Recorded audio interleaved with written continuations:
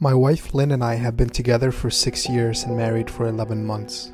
Our entire history together has been very normal, and never once have I noticed any weird behaviors or red flags. I can't stress enough how out of character this whole thing is for her. She's always been the no nonsense type of person. Being childish or trying to scare me is not something she'd normally do. She doesn't even like watching horror movies. When we first started dating, she agreed to watch The Shining with me because she knew how much I loved horror. She was so scared that she didn't even make it through half of the movie before we had to turn it off. She isn't into anything creepy and has never been into pranks. It's just not her cup of tea, and that's fine. But that's what's so strange about this, it's just so unlike her. I should also add that she's never had any mental health issues, and as far as I'm aware, it doesn't run in her family. I know some people are able to hide their mental health problems, but in the six years we've been together, I think I'd have seen some sort of sign. Two months ago, I was in the kitchen making myself some coffee before work. I was running a bit late that morning and knew I wouldn't be able to make it to Dunkin' Donuts for my usual morning fix. I took a sip of my coffee as I hurried down the hall towards the front door, when I happened to notice Lynn peeking at me from around the corner ahead of me. I could only see her eyes and a strand of her long dark hair hanging against the wall.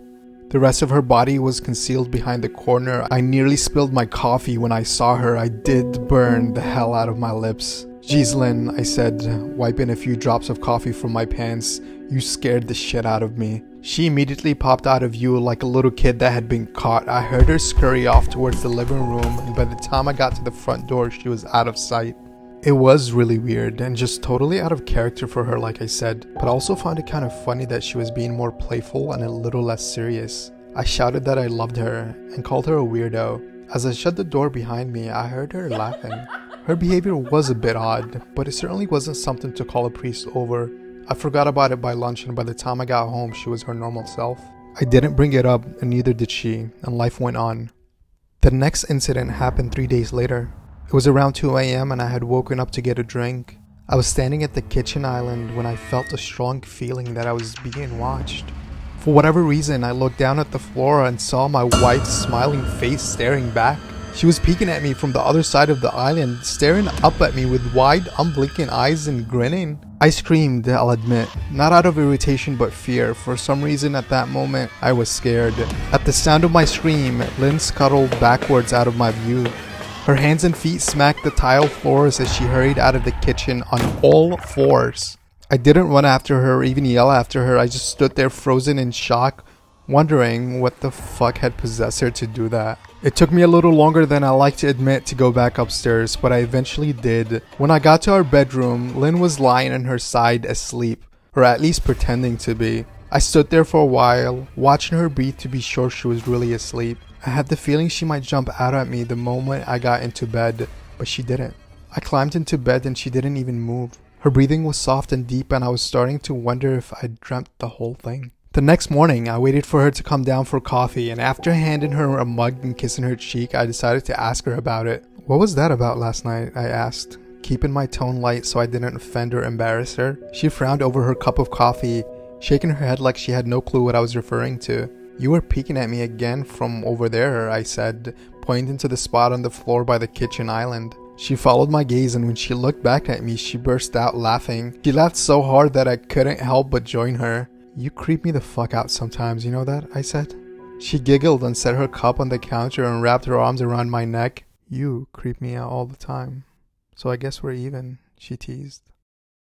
We said our goodbyes and left for work. As I drove, I kept thinking about how creepy it had been seeing her grinning at me from behind the island like that. The sounds her hands made on the floor as she crawled away. I told myself she was just trying to be silly, just trying to join me in my love of all things her. It's not like I was afraid of her, but it still didn't sit right with me. I started seeing her peeking at me more and more. Sometimes she'll be peeking out from behind the couch or living room curtains. Once she even managed to get inside her grandmother's old trunk that sits at the foot of our bed. I might not have known she was there at all had the trunk's old hinges not given her away. She had the lid propped up just enough so that only half of her face peeked through. She'll be grinning like an excited toddler. It was unnerving. I didn't even know what to say to her. All I could do was stare. When I finally found my voice, I asked her why on earth was she doing this. She didn't answer but she had slowly closed the lid, shutting herself inside the trunk. I just walked away feeling disturbed. I didn't understand why she was doing it, but it clearly made her happy. I just hoped she would tire of the game quickly. Lynn didn't peek at me for the next two weeks. I started to think that she was done with her weird pranks and I was relieved. We were watching a show on Netflix one night and I jokingly said that I hadn't seen her peeking at me lately and that she must have given up on her spy game. She looked up at me with a small smile and said, Maybe I've just gotten better at it. I didn't say anything, but I wondered whether or not she was joking. For the next few days, I couldn't stop thinking about what she said. Was she still peeking at me when I wasn't looking and I just hadn't noticed? And if so, what the hell was she getting out of this? I started to feel paranoid, constantly checking whether she was watching from around the corner or behind a door. I was jumpy whenever I was home and she wasn't in full view of me. I felt stupid and a little crazy. But after a few weeks without another incident, I began to relax. I stopped checking behind the furniture and walls and told myself it was just bad memory. Then a few days ago, things got so much worse. Lynn left to go to a friend's, and I lounged on the couch and played a couple of games on my laptop. Around 9 pm, I hopped in the shower, and as I was washing the soap from my hair, I felt that awful feeling that I was being watched. I slowly opened my eyes and almost had a fucking heart attack. Lynn was peeking from behind the shower curtains. Her entire head stretched into the shower, leaving just her body outside. Her long dark hair hung against the curtains, the ends dripping with water. Her mouth hung open in a terrible grin, eyes wide and red as if she hadn't blinked in a while. I screamed and jumped back against the wall. Her makeup ran down her cheeks into two black streaks. She looked giddy and completely deranged. I was fucking terrified. We stood like that for a few moments, neither of us saying a word. Finally, after what felt like forever, she slowly pulled her head back out of the shower and I watched her blurry figure through the curtains as she moved backwards towards the bathroom door. A second later, the bathroom door slammed shut, hard enough to rattle the mirror. I screamed again and jumped out of the shower to lock the door. I stayed inside the bathroom for over an hour. Maybe I overreacted to some of you, but joke or not, I wasn't going to put up with the crazy shit anymore. That's what I kept telling myself as I paced in my bathroom, stopping to listen at the door every few minutes. Suddenly, I heard muffled sounds, and I pressed my ear against the bathroom door. Straining to listen, I couldn't hear anything, but I envisioned Lynn standing on the other side of the door, giggling at her joke. I felt a surge of anger. I was beyond pissed at being made to feel scared in my own house and made to hide in the bathroom for an hour. All for what? Some joke? If it was a joke, it was an awful one. What the fuck, Lynn? I snapped. This shit is getting really annoying. I waited for her to apologize or to call me a jerk, but instead I heard a faint moan. So quiet, I wondered if I heard it at all. And then, complete silence. Lynn? I called out. Not being able to hide the shakiness in my voice, I got no response, just my own heavy breathing. I swear to God, just stop it, I yelled, pounding my fist on the door.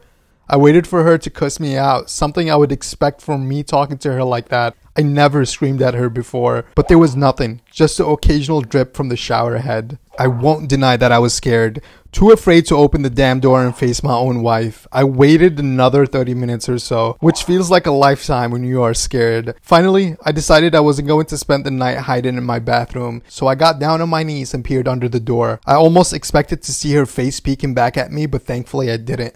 I could see straight down the hallway to the top of the stairs, but no Lynn. I looked for a few minutes, waiting to see her head pop up over the top step, but it never came. I stood up, my hands hovering over the door, and mentally prepared myself to open it. I slowly turned the lock with shaky fingers and was about to yank it open when I heard a sound that still makes me feel nauseous when I think about it. A moan. Louder than before, but this time I was able to tell you where it came from. I turned my head to the closet door in the bathroom as if in slow motion, and locked eyes with my wife who was peeking at me from the slight gap. Her eyes were still wide as ever, and her mouth was hanging open and had the most horrific, gapping smile I'd ever seen. I didn't even scream. I was too scared for even that. Her hands were clasped into her chest, body trembling with sheer delight, as if she could barely contain her excitement. A short, raspy moan bubbled up from her throat, deep and raw, sending a shiver through my entire body. Somehow, I found the ability to pull the bathroom door open and ran as fast as I could all the way down the steps, snagging my keys and phones from the table in the living room before running outside to my car. I could hear her shrill laughter behind me, but I didn't hear her getting closer, shivering the entire time, either from fear or cold, maybe a little of both. I hadn't grabbed a coat or even a pair of shoes. I was still in my boxers and my hair was still damp. I drove straight to my brother Chris's house about 40 minutes away, ignoring any and every call and text I got. I didn't check my phone until I was safely parked in my brother's driveway. Lynn had called four times and sent a flurry of texts, all wondering where I'd gone and why I left like that. I threw my phone at the dash in rage, furious at her nonchalant attitude. My brother and his wife were surprised to see me, especially dressed in just a pair of boxers, but told me to stay as long as I needed. Chris lent me some clothes and asked me what happened. I told him Lynn and I had a fight but didn't get into the details. I didn't want him to think I was overreacting, leaving my wife over a prank, even if it was a strange one. I mean, hadn't I encouraged her for years to lighten up instead of being so serious all the time? I had wanted her to relax and loosen up, but this was definitely not what I had in mind. I tried to sleep on their sofa, but my brain wouldn't let me sleep. Every time I closed my eyes, I saw Lynn's face staring at me from inside the closet. Knowing she's been in there with me the entire time made my skin crawl. She never left the bathroom at all. Instead, she slipped inside the closet and slammed the bathroom door shut to fool me. The mere thought of going back home gave me anxiety. I tossed and turned, unable to sleep. Chris ended up giving me sleeping pills so I was able to get a little rest. My sleep was filled with terrible dreams, all of Lynn's smiling face. I woke up just as the sun started to rise. My sore body ached from the sofa and I felt drained. I knew I'll have to call Lynn at some point, but I didn't know what to say to her. I wouldn't be going home unless she gave me her words she'd never do any more creepy shit. I just wanted my wife back. Her normal, serious self never looked so good to me. I was contemplating calling her and telling her that when that familiar feeling came over me, I was being watched. I was staring at the ceiling, my heart in my throat. I didn't want to look away, but the longer I ignored the feeling, the worse it got. My eyes drifted away from the ceiling almost on their own. Her face was pressed up against the window beside the couch, staring down at me with that same gaping smile. Drool dribbled down her lips, leaving two long streaks down the glass. I didn't know how long she'd been there, but something told me she's been there quite a while, possibly all night.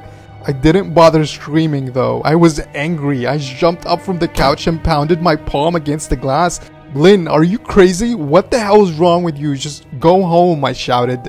Now. She didn't move, and her ghastly expression never changed. If anything, her smile only grew, as if she had never been more elated. I could hear Chris and his wife moving around upstairs. As if Lynn could hear them from her place outside, her head twitched slightly in their direction, and she began to close her mouth slowly. Chris called my name from upstairs. Obviously concerned, I turned to see him and his wife Rebecca hurrying down the steps. When I turned back to the window, Lynn was gone. The only sign she's been there at all was the two streaks of drool still dripping down the glass. I tried explaining to Chris and Rebecca about waking up to see Lynn watching me through their window. They were skeptical. Who wouldn't be? Chris and I went outside to the spot in front of the window, but there were no footprints in the dirt, just a slight indent. Animal, probably, Chris guessed and I didn't argue. He and Rebecca assumed I dreamt the entire episode, but they didn't understand, and I was too tired to explain it to them. I called out of work that day and turned my cell off. I didn't want to face Lynn. Just talking to her was too much for me at that point. I really started to believe something was irreversibly wrong with her, that no matter what promises she made will never be the same again. The thought saddened me to my core. I cried most of the morning. By noon, I figured I was ready to confront her, give her one last chance to explain herself. I could at least give her that after six years, I told myself. I turned my phone on and saw the dozen of texts she'd sent, all from a seemingly concerned wife. Can we talk? I love you. Please call me. I'm really worried. Can you answer? Just come home. All texts telling me she loved me and she wanted me home, how worried she was. Not a damn one addressing the crazy shit she pulled. Like she hadn't been acting like a character from a Stephen King book. Even her texts were different. She normally texted novels just to tell me to pick up a loaf of bread. You would think she'd have more to say to me after her bizarre shenanigans. I know it probably seems childish to some of you who are miles away from the situation, but if you saw the way Lynn had looked at me, how she scampered away on all fours like some wild animal, grinning at me from inside the closet like a lunatic, and I think you'll find my reaction was warranted. I ended up staying with Chris and Rebecca for another night. I didn't wake up yesterday until afternoon, and thankfully, I didn't see Lynn's face watching me through the window. I don't want to pry because it's not my place, but is this fight something that can be mended? Rebecca asked. She'd made us both a sandwich for lunch, and I knew she wanted to breach the subject without seeming to be nosy. I don't know, I just. She's like a different person, I said. Choosing my words carefully, I still wasn't ready for her or Chris to know the full extent of the batshit craziness I had been dealing with. People change, Ben, but she's still the same woman you married. Maybe you both just need to talk through your issues. Whatever's going on, I'm sure it can be fixed, she said. I think it's beyond that now. I don't think talking would help. I just don't trust her, I said. The worst stung in my heart. I missed and loved my wife, but how could I live with someone like that? Living in constant fear didn't sound too appealing. Lynn loves you. She has to be absolutely crushed, she said. I don't know about that, I said. Well, she certainly seems like it to me. I never seen her so upset, very much unlike the Lynn I know, Rebecca said, shaking her head sadly. It took a full minute for her words to really sink in, and when they did, I felt dread warming its way through my skin. Wait, what do you mean you saw her? You, you saw her? You saw Lynn? I asked, my mouth suddenly dry. Rebecca nodded casually as if that fact wasn't nightmare fuel. Maybe for her it wasn't. She stopped by this morning just after Chris left for work, she said. I didn't see her car though. Maybe she took an Uber or something? Beck, what did she say? Did did she come inside? I asked, sweating starting to break out on my forehead. I began looking around, examining corners as though a predator lurked behind them. No, she just asked if you were awake yet, and I said that you weren't. I asked if she wanted me to wake you, but she said no, just said to let you sleep. She said as she washed the dishes. That's all? She didn't say anything else? I asked. No, she looked awful though, like she hadn't slept in days. I think you should call her. I got up from the table and thanked Rebecca for lunch. I felt a little bit better at the knowledge that at least she hadn't come inside. Still, I needed to double check that the doors were locked. I sat for a while trying to figure out what to do next. I didn't want to go home, but I felt that I owed it to Lynn to help her if I could. Hadn't I sworn oath to love and honor her through sickness and in health? Clearly, she was very sick. If she was sick, which I truly believed she was, I had to try and get her the help she needed. But I didn't even know where to start. I didn't want to call the police, and beside, what the hell was I going to tell them? That my wife was peeking at me? That she was being creepy? As bizarre as she's been, she still hadn't committed any crimes. Not yet, anyway. The police would have probably said that I was overreacting, but this wasn't some prank. It felt wrong, dangerous even, like something sinister lurked beneath her smile. I knew as her husband I was well within my rights to have her committed, but what if she simply acted normal in their presence? She's obviously been able to fool Rebecca into thinking that she was just a concerned wife. As long as the doctors didn't find her a danger to herself or others, they'll have no choice but to release her after 72 hours. I felt lost and overwhelmed, so I did what any husband in my position would do. I called her mother. I didn't want to, believe me. Her mother, Marianne, and I were never on the best of terms. We've never fought or anything like that. She just wasn't a very warm person and wasn't really easy to get along with. She hardly ever smiled, and when she did, only her lips would move into a thin lipped smile, leaving her eyes as blank as before. She gave off this aura that felt like she was permanently on the offensive. I've only met her twice and both times were for such a short visit. I got the impression she didn't approve of me for her daughter. Lynn always ushered us out quickly as she didn't want me to feel uncomfortable, which I was grateful for. Being in her mother's company felt almost unbearable, like walking on glass. I was glad when we moved three states away so we didn't have to see her often. I was happy to avoid the women, but I needed her help. I really didn't want to talk to her at all, but I had to talk to someone and someone who knew Lynn better than I did. So I grit my teeth and did what I had to do. Yes, she answered, already sounding irritated. Marianne, it's me, Ben. Do you have a minute to talk? I asked. I could hear her cluck her tongue in irritation. I'm in the middle of writing some checks, but if you insist, I suppose I can spare a moment. What is it that you want to discuss, Benjamin? She said. It's about Lynn. She's been acting strangely, and I was wondering if you had any idea whether there was something. I was quickly interrupted. It's a bit difficult to follow you, rambling Benjamin. What is it that you want from me? She asked. I could almost see her standing there in her thin sweater and slacks, tapping her fingernails impatiently on the table. I wanted to know if you ever noticed any odd behavior or possibly any mental health issues, I asked. There was a long, uncomfortable pause that I couldn't tell was because she was just thinking or something else. Finally, after a few seconds, she spoke. I'm not sure if this is one of your jokes, Benjamin, but if so, I don't find the humor in it. Now, I do have a business to attend to, so as I said, so if you don't mind, she said, but I cut her off before she could get rid of me. Marianne, it's not a joke. I'm sincerely concerned about Lynn's mental health. Her behavior has been very erratic lately. I'm, I'm very worried about her, and I figured as her mother, you would be as well, I said, my frustration evident in my voice. If you're truly concerned, then I suggest you get the health professionals involved. I don't know what you expect of me, she snapped. I could tell she was seconds away from hanging up, and for some reason, I was desperate not to let her. I had the feeling that she knew a lot more than she was letting on. Please, if not for me, do it for Lynn, I tried. I heard a faint, shaky intake of breath as if she were trying to hold her steely persona together, but failing. Marianne, what's. I started. Benjamin, I don't know what to tell you. My only advice would be to seek professional help. Don't call here again. Goodbye. I tried to call out to her, but she had hung up. I tried to wrap my head around the call and her refusal to help me. Even if she didn't like me, why wouldn't she want to help her own daughter? I couldn't understand that. I tried to replay the conversation, desperate to find something I've missed. After a while, I almost gave up until I remembered her last words to me seek professional help.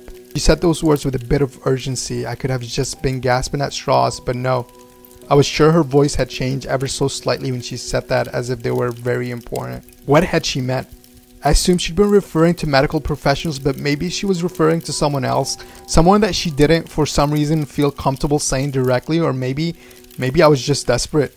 I waited for Chris to get home, and after a very long and exhausting conversation with him and Rebecca, I convinced them that Lynn truly needed psychiatric help. I didn't tell them everything. I wasn't prepared to get into it yet, but I told them about our last encounter, how she'd hidden in the bathroom, peeking at me from the closet. They were obviously shocked, but thankfully they believed me. They too just wanted to help her. Still, they didn't think it was all that serious. Maybe. Weird, maybe, but not dangerous. They just kept saying that Lynn had to be playing some kind of weird joke Maybe for YouTube, Rebecca offered. Chris didn't think we should involve the police just yet. He offered instead to go with me, and I readily accepted. He reasoned that calmly talking to her and trying to coax her into going willingly was the best recourse. I agreed to do it this way, at least I wouldn't be going into the house alone. We drove over this morning just after breakfast. There was no way I was going at night. When we pulled into the driveway, my stomach dropped. Her car wasn't there, but I still didn't let my guard down. The front door was ajar, and for a split second, I thought we seen her eyes staring through the gap. I was shaking and starting to sweat. Chris, however, was fine. He waited for me to open the door, his hands in his pocket like he was going on a fucking stroll through a park. I envied his ignorance. I pushed the door open and was immediately hit with the stench of rot. Chris smelled it too, and he walked in the house behind me with his nose scrunched up. The house was deadly quiet and dark despite being 10 in the morning. All the curtains were closed up tight, refusing to allow any sunlight inside. If I hadn't left it just two days prior, I would have thought the house to be abandoned. We moved through each room, carefully checking any places that she might hide, occasionally calling her name. Why are you looking under the couch? Chris asked eventually. Aren't we looking for your wife? He was looking at me like I was a moron. Let's go upstairs, I whispered. He shook his head but followed me up the stairs to check the bathroom and spare bedroom. On the way up, my shoes crunched over pieces of glass that looked to be littered over a few of the steps. I noticed that one of Lynn and my wedding portraits that hung on the wall along the staircase had been smashed. Frame hung crookedly, all the glass removed. I stared at the picture, a lump forming in my throat. We had taken the photo just after leaving the church. After saying our vows, she looked so beautiful in her white gown. I looked at Lynn's beautiful face. I never dreamed her face will ever be a source of terror for me. We climbed the rest of the steps and checked the spare bedroom, but it looked completely untouched. I was hesitant to go into the bathroom, my fear from that night coming back to me all at once. Chris noticed and offered to go in by himself, but I couldn't let him do that. So we walked in together, checking the closet and the shower. The bathroom looked as if it hadn't been touched since the night I left. I don't think she's here, Ben. Why don't you pack some clothes and we'll try to come back tomorrow or something, Chris said. I nodded and went to our bedroom and shoved some clothes into a duffel bag. When I checked inside our closet, I came across the source of the smell and gagged. Chris took one look and lost all color in his face. He had to go stand by the stairs to get away from the sight and the smell. I gazed down in shock at what lay inside my bedroom closet. Soaking into the bed were at least a dozen eyeballs, all carefully laid out in pairs. Some were as large as a quarter, while others were as tiny as a marble. I stared down at the eyes she'd collect from small animals and I wondered how she'd gotten them and shuddered at the thought. Ben, I think we should go, he called from the hall. I'm getting nauseous. I grabbed my duffel and shut the closet door on my new nightmare. I stepped out into the hall and took a deep breath of air. I could taste the rot on my tongue and I couldn't help but gag. Who lines up eyeballs in their closet like that? Chris mumbled. I tried to tell you she needed help, I said. She doesn't need help, Ben. She needs an exorcist, he said. You're coming or what? I can't stand the smell any. His words died in his throat and his eyes grew wide with fear. I didn't ask him why, I could feel it. Someone was watching me and I didn't think it was the eyes in the closet. I turned around, my eyes slowly scanning the bedroom. Christ, I whispered as I finally saw what we'd missed. Under the bed, crawled on her side, watching us with the excitement of a kid on a Christmas morning, was my wife. She had her hands together just under her chin and they were shaking eagerly. Now that she knew she'd been found, I could hear the quiet noises she was making, a sort of hiccuping sound in her throat as if the excitement was just too much for her. It was unnerving to say the least, wide eyes and the same huge smile. Everything in me told me to run, but I forced it away. This was my wife. No matter how twisted, she was still the woman I married. I had to help her. Lynn, I said softly. She didn't respond, but her head bobbed back and forth in two quick little movements as if she were nodding. Baby, I just want to help, okay? Can you can you let me do that? I asked. I had taken a single step forward, approaching her like some kind of dangerous animal. I love you, Lynn, I said softly. Taking another step closer, she let a tiny moan escape her wide open mouth, and I had to resist the urge to run. Her shoulders were starting to quiver, and her eyes grew as large as saucers. I crouched down so I could see her better and immediately saw the blood. Her hands were covered in it. They trembled more the closer I got, as if she were barely able to contain herself. Lynn, are, are you hurt? You're bleeding, I said. She bobbed her head again. Her bloody fingers moved up and down as if playing an invisible piano. They occasionally grazed her chin, leaving smears of blood on her skin. I wanted to recoil in disgust. The smell that was coming off of her was revolting. I could feel the vomit trying to climb up my throat. Her lips were dry and stretched thin, blood seeping between the cracks. I knew she wouldn't come out on her own, but I didn't want to leave her in the state she was in. I scooted closer and reached out to her. The excited hiccup sounds got louder and her hands shook, fingers flexing. It was then that I could see the blood oozing from in between her fingers. Oh my god, Lynn, you're bleeding, I said.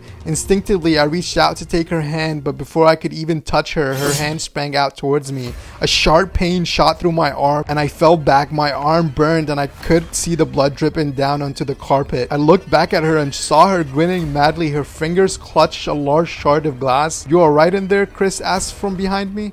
I turned my head slightly and nodded to him. Cradling my arm to my chest, when I turned back to face Lynn, I saw that her focus had shifted.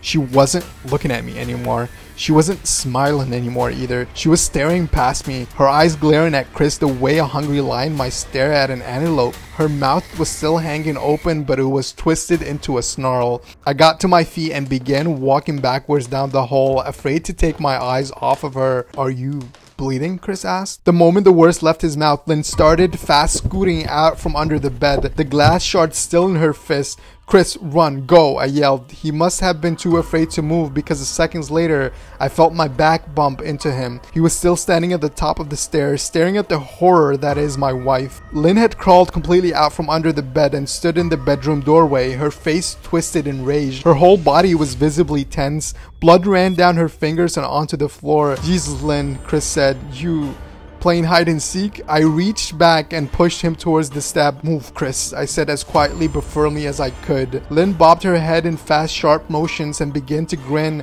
stretching her mouth open and wider and wider so that her chin seemed to touch her chest. I heard Chris mutter a prayer and then he was running down the stairs. Thankfully, my body took over and I flew down the stairs, skipping two or three at a time. I made it to the front door before I felt her leap onto my back, wrapping her arms around my neck, her open mouth next to my ear so that I could hear her, but I could hear those terrible hiccuping sounds up close. I shook her off of me, knocking her off to the floor. I felt a searing pain in my back as she went, but I tore open the front door and bolted to my car. Chris was standing in the front yard, talking on the phone with the police. I didn't say a word. I just ran to my car and jumped in. Chris took the hint and followed me, still on the line with 911. I watched the rearview mirror, sure I'd see her there running after us, but I never did. I went straight to the ER and got 11 stitches in my arm and 3 on my back. The police asked a lot of questions and went back to the house to do a search, but of course, Lynn wasn't there.